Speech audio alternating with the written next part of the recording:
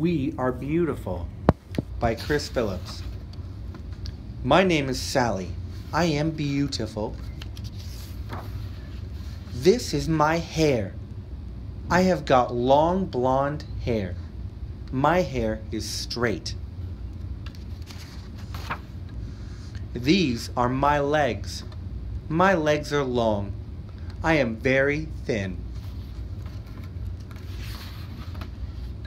This is my friend Rose. She thinks she is ugly. Look at her hair. She has got curly hair. It is short. It is not blonde like mine. Her hair is orange. She wears glasses. She is not ugly. She is beautiful like me. This is my friend Linda. She says she is fat. These are her arms.